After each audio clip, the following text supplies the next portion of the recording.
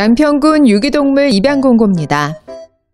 공고번호 534번 유기견은 11월 24일 양평읍 샘뜰길 인근에서 구조된 수컷으로 나이는 3살 정도로 추정하며 체중이 6kg 정도 나가는데요.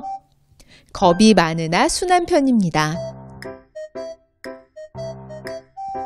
공구번호 568번 유기견은 12월 15일 강화면 성덕리 인근에서 구조된 수컷으로 체중이 0.5kg 정도 나가는데요.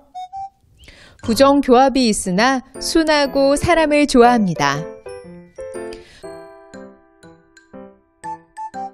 공고번호 576번 유기견은 12월 22일 지평면 지평리 인근에서 구조된 수컷으로 나이는 8살 정도로 추정하며 체중이 20kg 정도 나가는데요.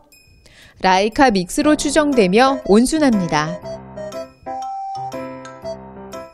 이외에도 아기 강아지들이 구조되어 보호 중에 있습니다. 사랑으로 무지개 다리를 건널 때까지 가족처럼 아껴주실 분들의 많은 관심 부탁드립니다.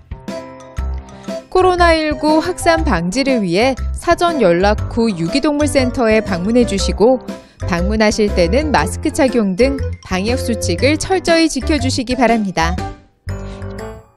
유기동물 사지 말고 입양하세요.